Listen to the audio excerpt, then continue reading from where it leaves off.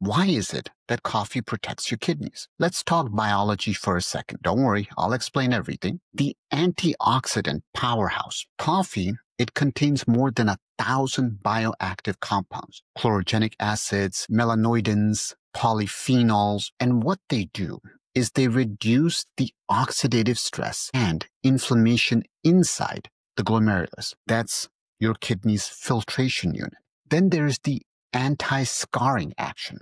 Caffeine appears to suppress something called the TGF beta 1 pathway, and this results in reduced scarring in kidney tissue. Now, this matters because kidney disease often progresses through fibrosis or tissue turning into scar.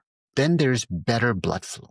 So caffeine improves nitric oxide availability, and this helps to regulate blood flow and pressure inside your nephrons. Those are the units of your kidney. Better perfusion means healthier kidney function over time. Then there is improved insulin sensitivity.